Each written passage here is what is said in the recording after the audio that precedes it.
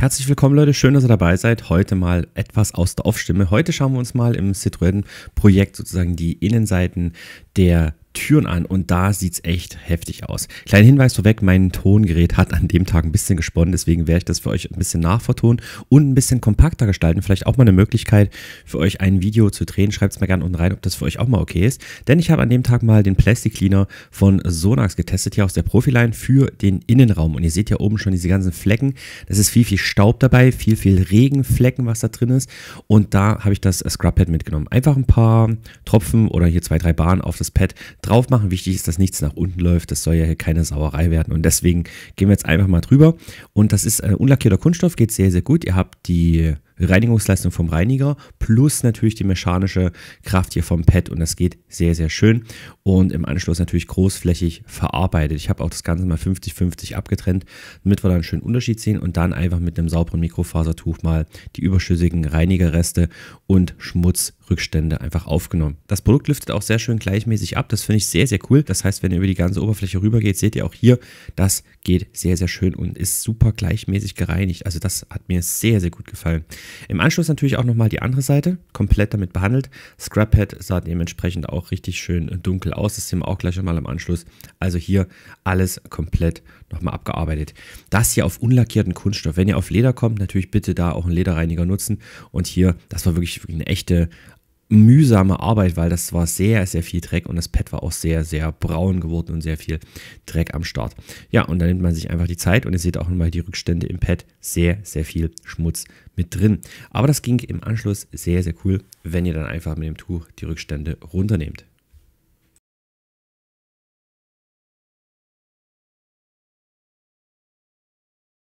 Ja, das Pad hat sich dann langsam schon mit Schmutz vollgesaugt, deswegen nehmen wir gerne mal die Rückseite. Auch hier habe ich wieder eine 50-50 Abtrennung gemacht, damit man einfach mal gut den Reinigungsunterschied sehen kann. Und auch hier geht man einfach vorsichtig drüber. Man nutzt das einfach wie so eine Art Bürste, aber ist natürlich deutlich schonender und ihr arbeitet euch einfach von Fläche zu Fläche. Kreisende Bewegung, auch Links-Rechts-Bewegung, je nachdem, wie die Flächen von der Form her aufgebaut sind. Wichtig ist, dass ihr nicht äh, auf irgendwelchen Leder stark reibt, ganz klar, aber hier in dem Bereich war das alles so Kunststoff, äh, auch Soft Touch in dem Bereich und man sieht ganz, ganz stark, wie viel Schmutz hier drauf ist. Man sieht es auch rechts an dem Bereich, wo die Ablagen sind, die kleinen Fächer rechts, aber das werden wir uns auch gleich im Anschluss mit anschauen. Dann mit dem Tuch einfach die Rückstände runternehmen. Da kann man auch die kleinen Schuhstriemen so ein bisschen beseitigen, wenn sie noch nicht im Material komplett reingekratzt sind. Hier, das lüftet so geil ab, das hätte ich nie gedacht. Also sehr, sehr cool. Habe ich auch gar nicht so auf dem Schirm gehabt, den ähm, Plastic Cleaner. Also definitiv mal anschauen. Wenn wir mal das Klebeband abziehen, sehen wir ganz, ganz deutlich einen Unterschied zwischen schmutzigen schmutziger und ähm, sauberer Seite. Also das ist ganz, ganz gewaltig vom Unterschied. Ihr seht auch hier, dieser Mittelbereich lüftet wunderbar ab. Sehr, sehr cool. Und jetzt sehen wir mal deutlich den Unterschied. Also sehr, sehr frisch wieder auf der Seite, schön gleichmäßig. Ihr könnt im Anschluss auch eine Kunststoffpflege drauf machen. Ich habe es erstmal original gelassen.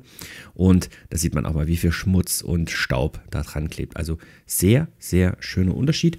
Und dasselbe schauen wir uns jetzt auch nochmal auf den Bereich an, auf der rechten Seite, da wo die Schuhkratzer natürlich mit dabei sind. Auch hier bin ich nochmal drüber gegangen. Selbes Prozedere mit dem Scrub Pad, schäumt auch leicht auf und dann mit dem Tuch nochmal drüber gegangen. Und da haben wir deutlich eine schönere Oberfläche jetzt, auch wenn die ganz tiefen Beschädigungen natürlich im Kunststoff drin bleiben, ganz klar. Auf der anderen Seite war es teilweise sogar noch heftiger. Also auch hier richtig, richtig starke Verschmutzung.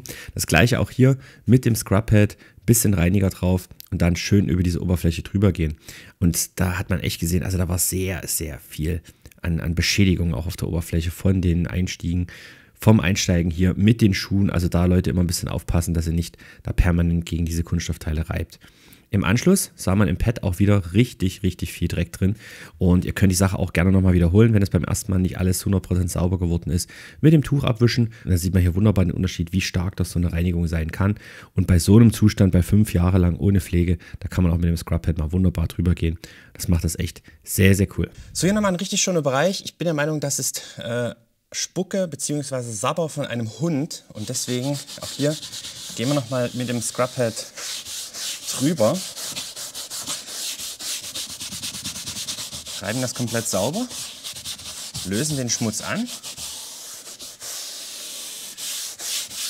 Das ist vor allem bei so Kunststoff, der so wirklich sehr, sehr stark strukturiert ist, ideal mit dem Scrub Pad. Also das geht da sehr, sehr zuverlässig. So, und jetzt nehmen wir den Rest hier mit dem Tuch mal runter. Und da sind die ganzen Flecken alle zuverlässig weg.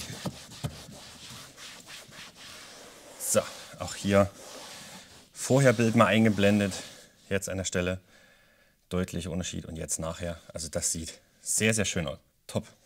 Ich bin auch hier über diese Oberfläche mit drüber gegangen. Dieser synthetische Stoff, das ging einwandfrei, ohne Probleme mit dem Scrubhead. Insgesamt die Türtafel, damit jetzt im Kunststoffbereich, wieder absolut top. Ihr könnt das genauso auch hier für die Einstiege benutzen. Schauen wir uns in einem extra Video an. Oder auch für die Kunststoffstoßstangen. Hier in dem Bereich geht das auch, auch wenn Interior draufsteht. Trotzdem geht das auch in diesem Bereich sehr zuverlässig. Damit können wir uns in den nächsten Videos die nächsten Schmutzstellen anschauen. Das hier, das hier unten, hier unten die Türkanten lang. Aber die Türinnentafel ist jetzt wieder wunderbar original frischer Look. Wenn ihr Fragen habt zum Plastic Cleaner, gerne unten in die Kommentare rein. Sehr, sehr ergiebig. Ein Scrubpad dazu oder vielleicht einen kleinen Mikrofaserapplikator, um das zu verreiben. Tuch und fertig. Ultra schnell, sehr, sehr einfach. Vielen Dank fürs Zuschauen. Ciao.